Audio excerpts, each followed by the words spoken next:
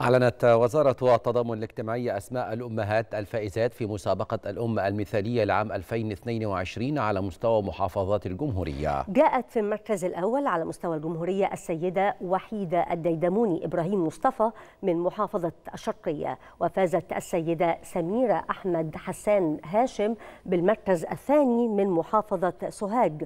وجاءت السيدة إقبال فايز لبيب درياس في المركز الثالث من محافظة قنا وأعلنت الوزارة الأمة المثالية البديلة الأولى على مستوى الجمهورية عن عام 2022 وهي السيدة صالحة مرعي حسين علي من محافظة القاهرة.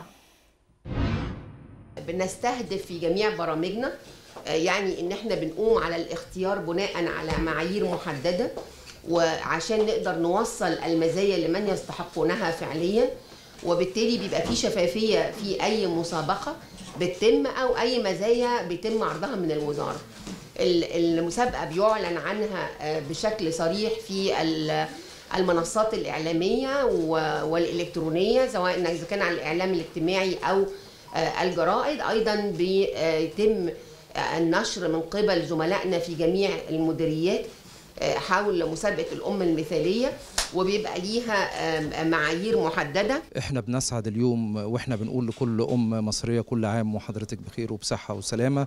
نحتفل بالمؤتمر اللي أقامته معالي الوزيرة دكتورة نيفين قباج وزيرة التضامن الاجتماعي عشان تعلن نتيجة مسابقة الأمهات المثاليات عن هذا العام مارس 22 هذا العام إحنا بنكرم الأمهات المثاليات على مستوى المحافظات ال 27 ثم يتم اختيار الأم الأولى والثانية والثالثة على مستوى الجمهورية.